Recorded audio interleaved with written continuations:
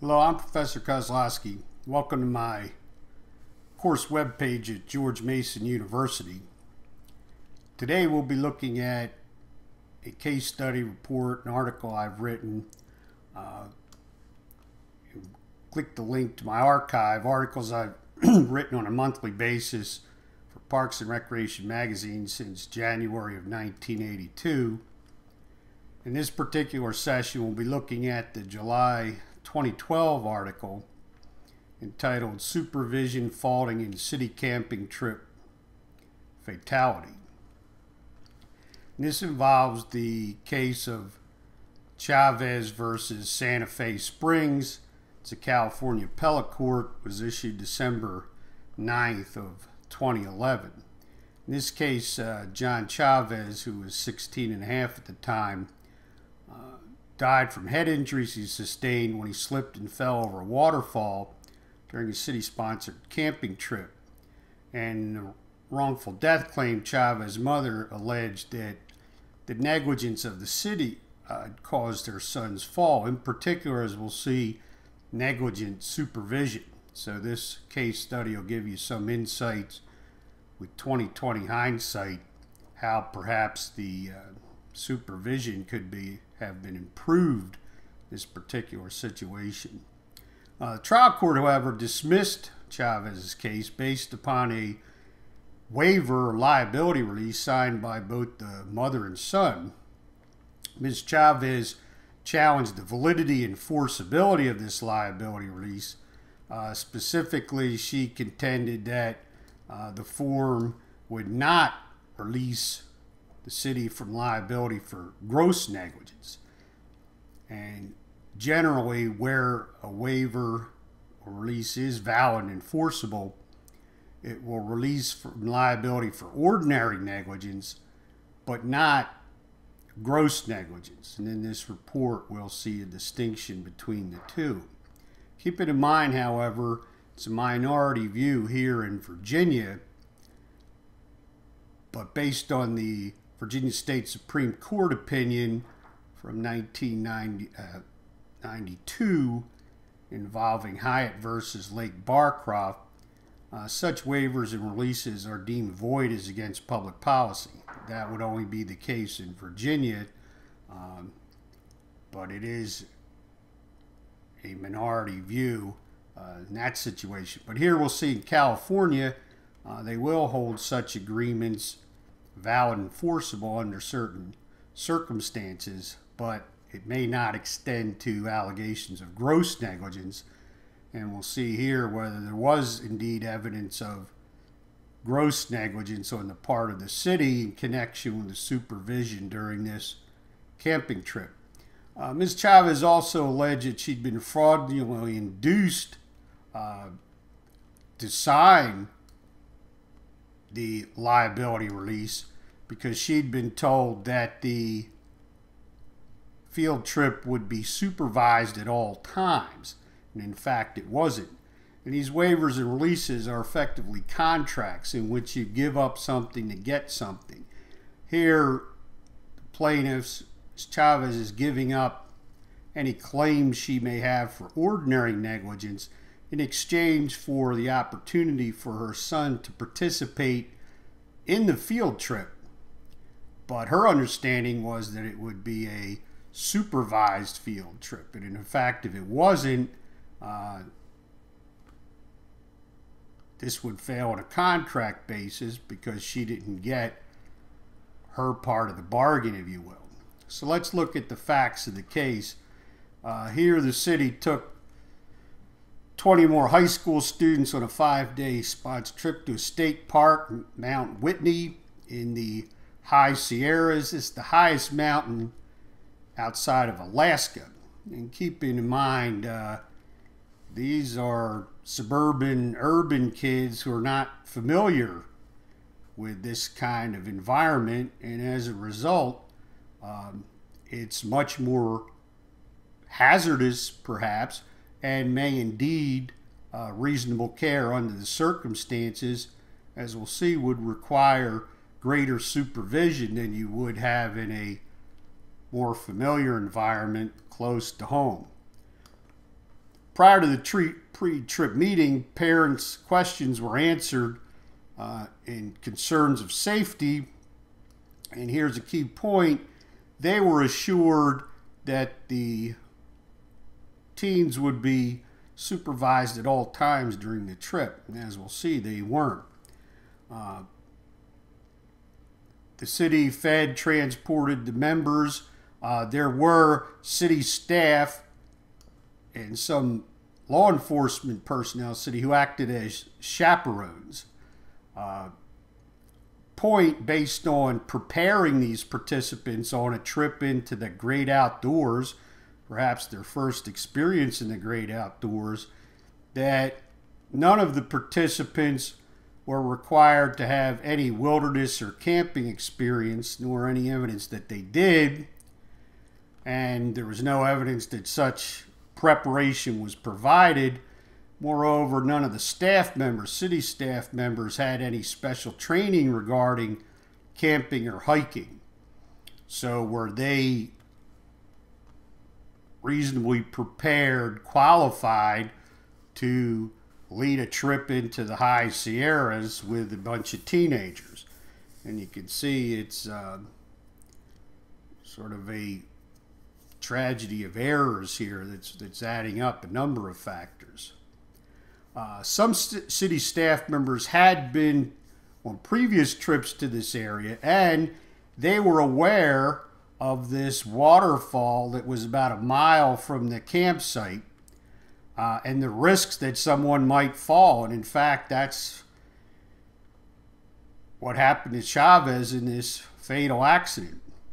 Uh, once again, for the field trip and planning it, no determination was made of the participants' outdoor experience or no discussion of the type of equipment they needed. Um, and this risks that might be encountered around the waterfall, or no evidence of safety guidelines imposed on the campers or precautions that should be taken in light of risk. And the general duties that an instructor would owe a participant are proper instruction. What kind of instruction? Well, what's the necessary safety instruction that the participants need in order to look out reasonably for their own safety? there's some evidence here that that sort of information was lacking. As I said, Decedent Chavez was 16 and a half years old at the time, and before the trip, he and his mother had signed a release form. Now, since he's 16 and a half, he's under 18, he doesn't have the legal capacity to enter into a contract which is what a liability release form is. Uh, that's not an issue in this particular case, but it does appear in a number of other cases. Moreover, traditionally, uh, parents did not have the right to sign away the uh, rights of their children. Uh, I wrote an article earlier on these parental child waivers and their validity and enforceability. But that's not an issue in this particular case. Uh, the language of the release is cited here, and it's you know, your basic uh, legal gobbledygook. Uh, but a waiver release, one of its elements to make it more effective, it's an express assumption of risk and to a certain degree, its, its effectiveness is correlated to an expressed assumption of risk. What types of risks are expressed? So you know what you're getting yourself into, and then on balance, it may be your fault that you know those risks and accordingly assume them. Here you'll see there's not quite a, there's no idea any specific risk, risk information. Uh, there's no indication of the risks that you would uh, be facing in the high Sierras. It just may you may be exposed to some risk of personal injury or death. Right? That leaves a lot to the imagination. In fact, generally, even without a written document, a participant assumes the open and obvious inherent risks in any activity. So, for example, in football, it's a contact sport, you're going to get knocked around. So, if you're really going to put risk information in such a document, whether it's valid or enforceable or not, uh, is it any evidence of the risks that were assumed by the participant because they were spelled out? Here, there's no such descriptive risk information. So, mention you you discharge any and all claims that you may have against the city. Um, as a general rule, as we'll see, courts will read that even it doesn't specify, you really would not forego any and all claims, only those claims which you would give up in a valid enforceable waiver liability release, and that would be claims based on ordinary negligence but not gross negligence. So, continuing on with the facts, Chavez attended the mandatory pre trip meeting. Uh, once again, at the meeting, parents were assured that the children would be supervised at all times.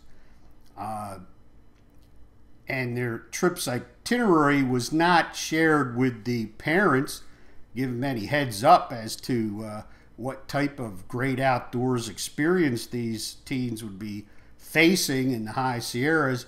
Moreover, and more importantly, they were not advised that included in the itinerary was planned free time, which teens were not supervised by the staff, which runs totally counter to the assurances given the parents that they would be supervised at all times and was a part of the deal, if you will, in signing the release.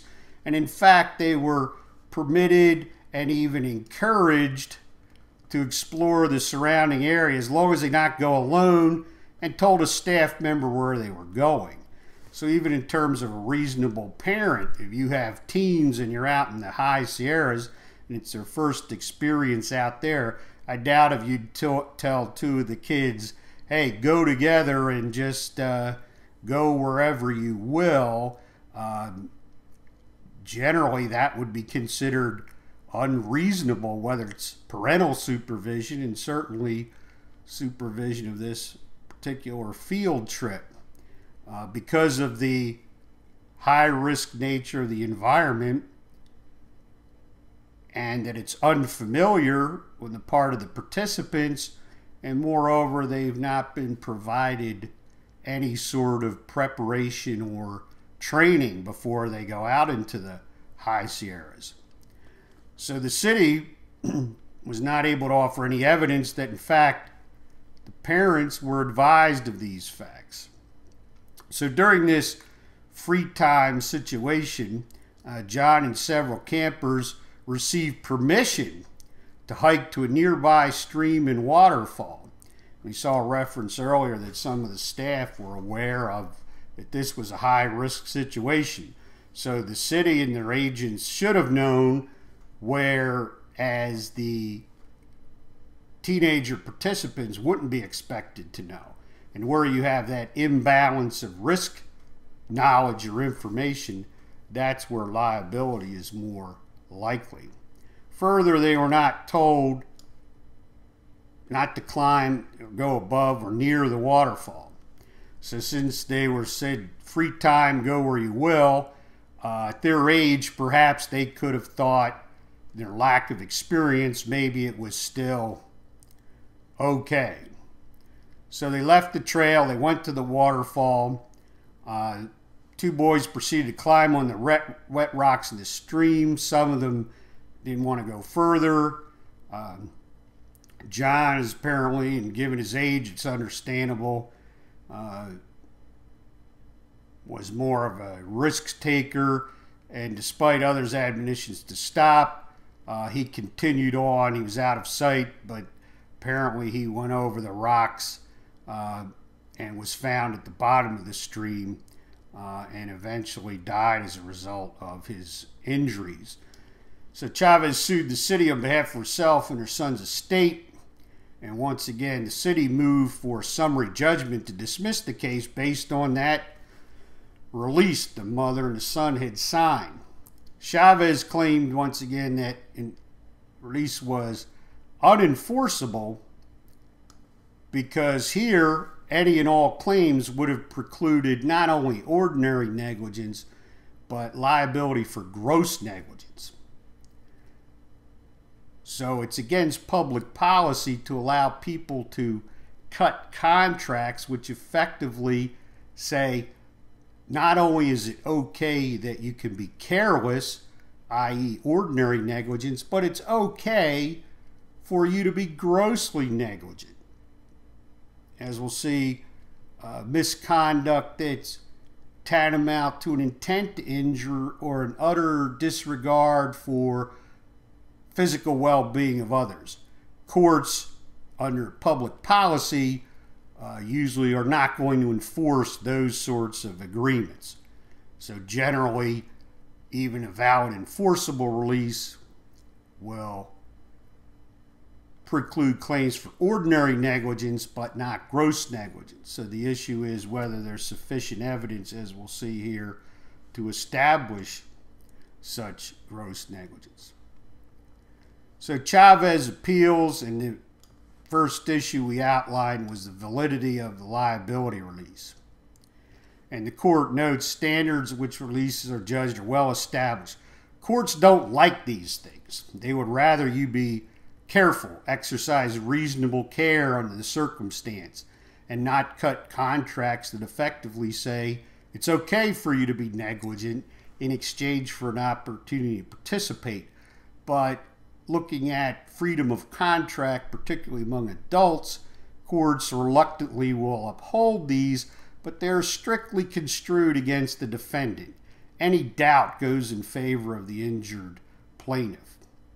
And although a release need not be perfect, it should constitute a clear, unequivocal waiver with specific reference to a defendant's negligence, which, as we'll see, um, the type of risks that you were to encounter, and the risk here was a failure to supervise, certainly nothing was clear and unequivocal expressed in what type of risks are you accepting in that document signed by the mother and son uh, over and above risks that you would already assume uh, from the inherent open and obvious risks associated with a given activity which participants assume just by their mere participation without the necessity of even having to sign a document. So the court here, unlike the Supreme Court of Virginia, said in the absence of circumstance involving a public interest where this contract would not be upheld, they acknowledged that the law in California and other jurisdictions, in fact, would allow people to contract away any future liability for point being ordinary negligence, generally not gross negligence. And the court acknowledged, and there's a trend in this area where there, in fact, is a public interest to encourage such agreements, particularly where they involve uh, youth with recreational opportunities uh, to protect volunteer groups, uh, Boy Scouts, Girl Scouts, sports leagues, and the like. And in fact, um, because they're more effective than these waiver contracts, many jurisdictions have passed volunteer immunity statutes, which provide limited immunity to the individuals, not necessarily the association, but like a valid enforceable waiver, you won't be liable liable for ordinary negligence, you'd only be liable for gross negligence. So let's look at the distinction the court makes between ordinary negligence, where the waiver might be valid and enforceable, waiving those types of claims, but not where the court acknowledged there may be a policy to provide immunity, particularly in this youth sports area, for ordinary negligence, but there's no policy that would favor and allow people off the hook for gross negligence, utter disregard, outrageous misconduct. We may cut you some slack for mere carelessness, but uh, there's no advantage of providing public recreational opportunities to youth where we would be exposing them to gross negligence, a complete failure to exercise any level of reasonable care.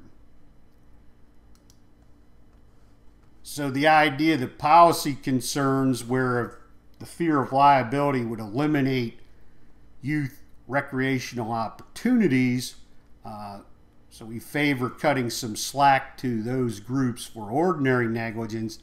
There's no such public policy interest in letting them walk away from any and all liability, including gross negligence and that in fact the court found in other jurisdictions where liability release agreements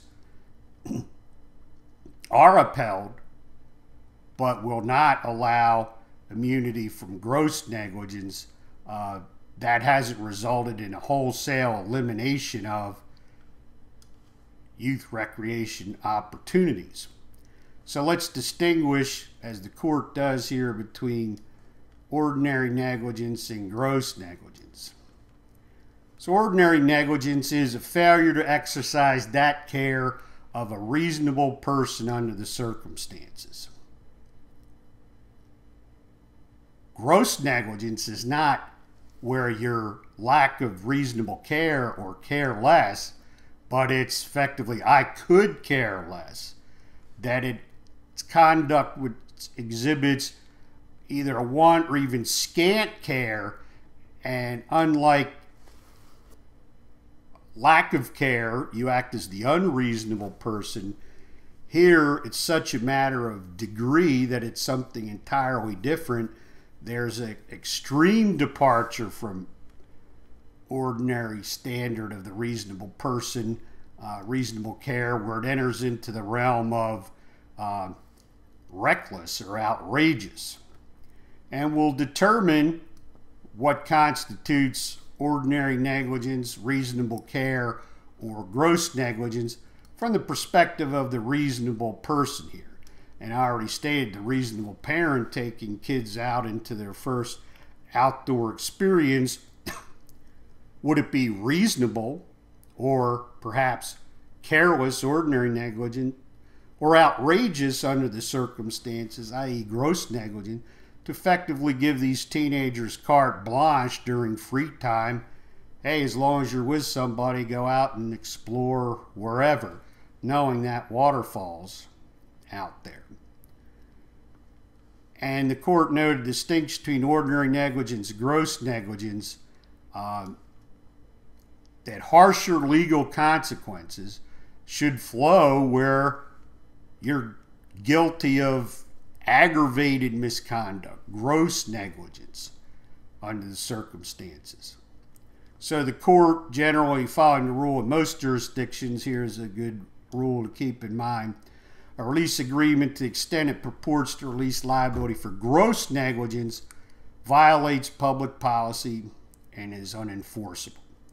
Here, as we mentioned on appeal, Chavez maintains the trial court erred in dismissing her claims based on the liability release because here there's evidence Chavez claimed of gross negligence. So, what sort of conduct would constitute gross negligence in general and under the facts of this particular case? So, had Chavez alleged sufficient facts by which a jury could find that the city's conduct here constituted gross negligence and therefore even with a valid enforceable waiver they would still be liable. And here in the opinion of the court based upon the facts on the record a jury could indeed find that there was more than just a momentary lapse of judgment, carelessness that would constitute ordinary negligence, that the facts here, a jury could reasonably find that there was indeed gross negligence. That here, encouraging campers to undertake potentially hazardous activities, exploring the surrounding terrain in the waterfall, without ever taking even minimal precautions of planning and, and exposure of adolescent campers. These aren't experienced outdoorsmen, um, where their youth expected enthusiasm. Uh, adult supervisors would expect them maybe to do stupid things in an unfamiliar and untamed environment as we have here in the high Sierras. And children generally are held to the standard of a child of reasonable, similar age, education, and experience until they reach 18. So, seven and under, they're unable to look out reasonably for their own safety in general terms. And traditionally, 7 to 14, the same presumption applies, but you can rebut it and say, well, this kid should have known better. 14 18, the assumption shifts and presumes that perhaps they can look out reasonably for their own safety, like the reasonable adult, but it all depends. And here, the facts, given the environment here, that unlike adults, these adolescents, under these circumstances, as we'll see, might not be expected to exhibit the degree of discretion, judgment, concern that you would expect. You took a bunch of adults out there, and they said, you know, you can't close your eyes to the fact as a supervisor that boys, teenage boys, are risk takers. They want to impress their friends, show off, and they're going to do some stupid things, and that they won't exercise the same amount of care looking out for their own safety as an adult would. So, dealing with this reality of a bunch of boy teenagers, court mentions their outside competitiveness and bravado, that even um, one isolated deviation could not only constitute negligence but here, given the risks involved, that it could constitute gross negligence under the circumstances. So they stress here this unfamiliar environment looks beautiful, but it's more hazardous than it appears, and this was their first outdoor opportunity for youth from an urban setting.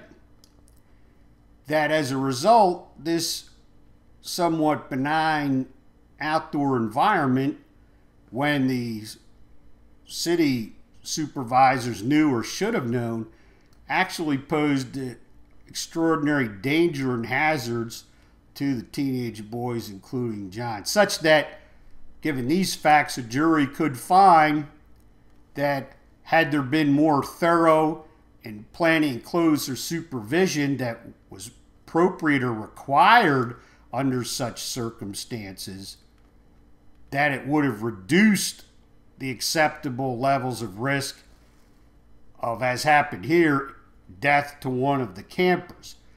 And the lack of any such appropriate planning or supervision, as we'll see, provided evidence by which a jury could find for gross negligence.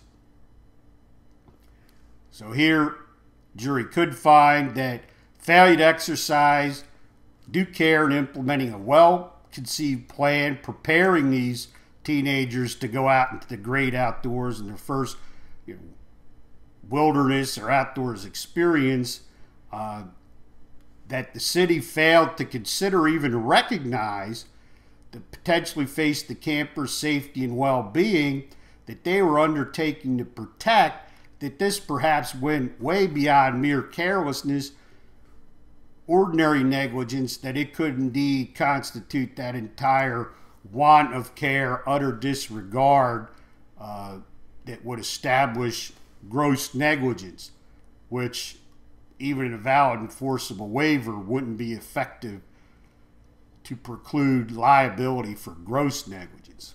So the city failed to formulate any plan about how to meet and address those risks. They failed to implement appropriate supervision, education, discussions, admonitions, or any other means to protect the campers from obvious dangers. Now, you might say, well, generally, there's no duty to provide protection against an obvious danger.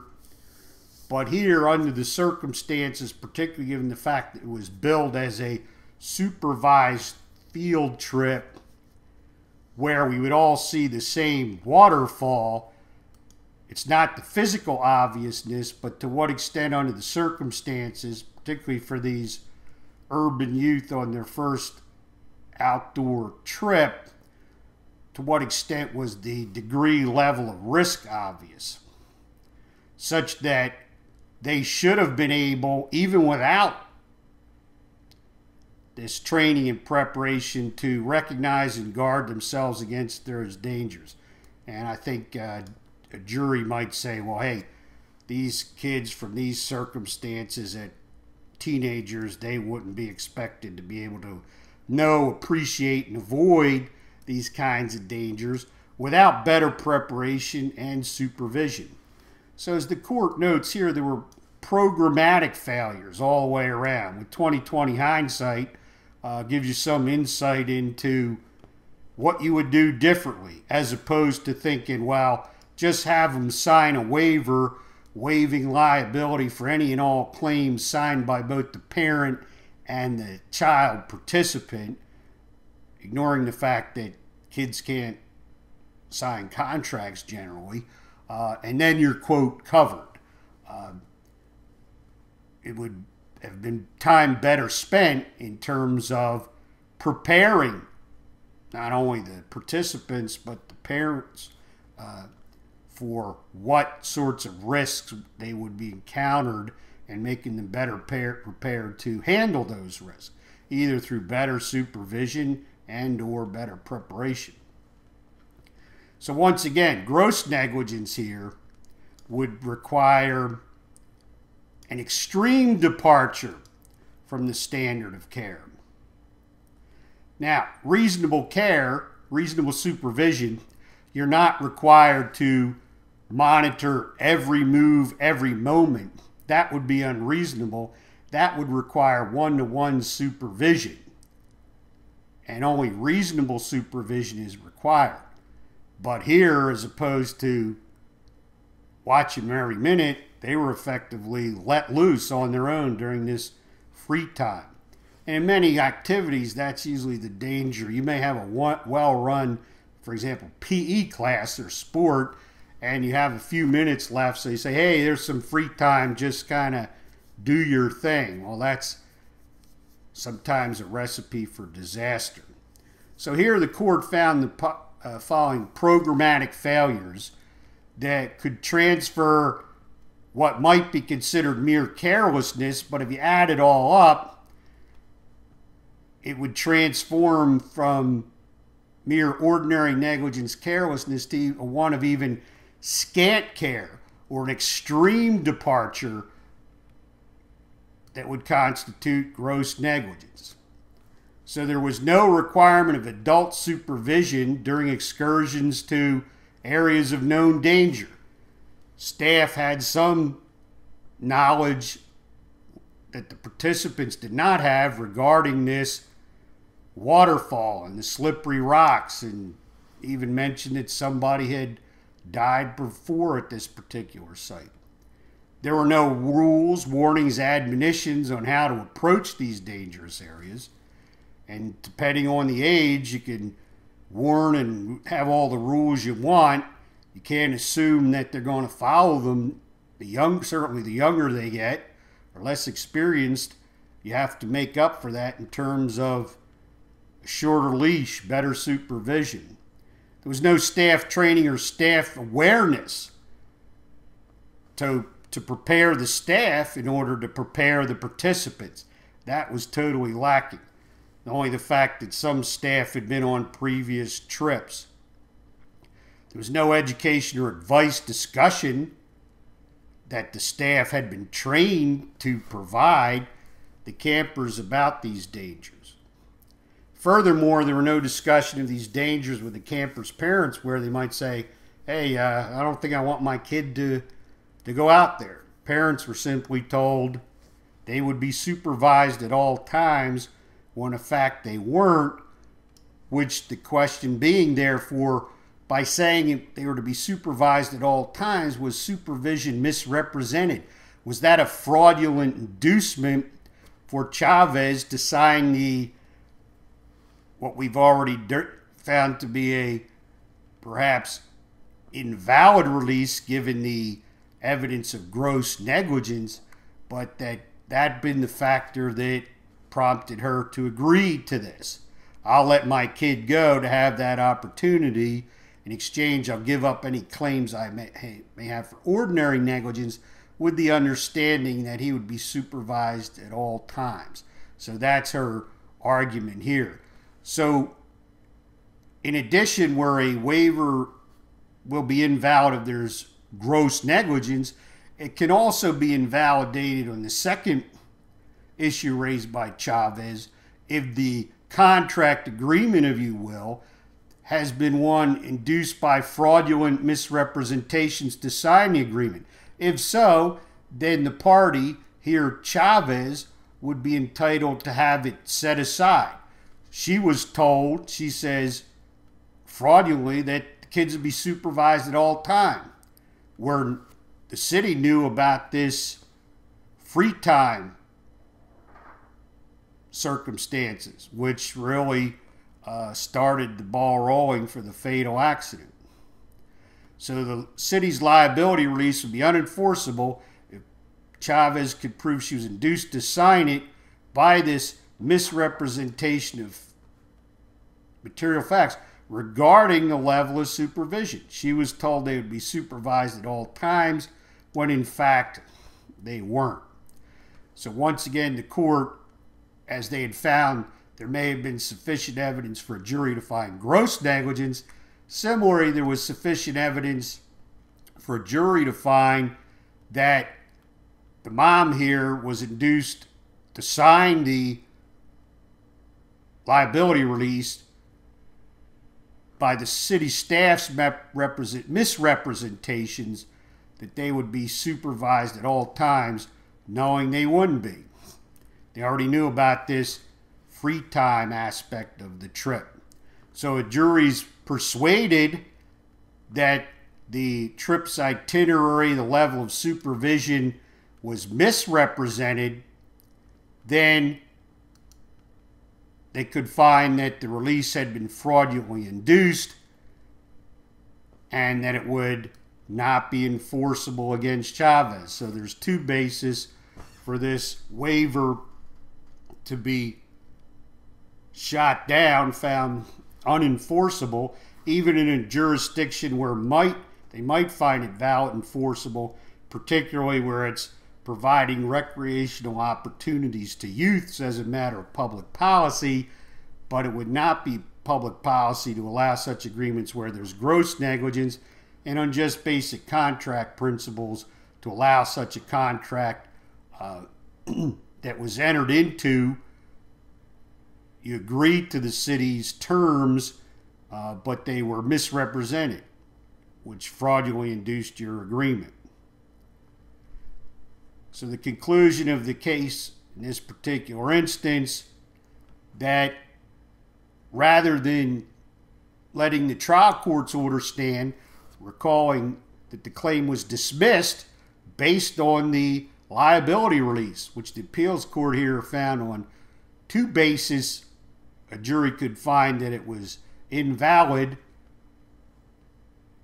Chavez would get her day in court. Summary judgments reversed. her claims allowed to proceed to trial, and at trial, a jury would indeed consider the enforceability of the release of the city's liability for negligence. And the other issue, whether this representation of supervision at all times had fraudulently induced the agreement. And if they find either on one basis or the other, they voided the particular release, found it unenforceable, then they would consider Chavez's original complaint, as you'll recall, she claimed the city was negligent, city's negligence, in particular the supervision, led to her son's fatal fall. And the waiver was raised as a defense to ordinary negligence. So if the waiver shot down, then she gets her day in court and she can establish liability just on ordinary negligence basis, particularly whether there was unreasonable supervision under the circumstances of this case. So that concludes our overview of this particular case study. And again, hopefully, with 2020 hindsight, um, you can learn from the shortcomings of the city of Santa Fe Springs in dealing with a field trip to unfamiliar environment, particularly with teenagers um, who, given their age, education, and experience, uh, more likely, particularly in an unfamiliar environment, uh, to take unnecessary risks. And those concerns need to be addressed. So, this is Professor Kozlowski, and we'll see you next time with another uh, case report.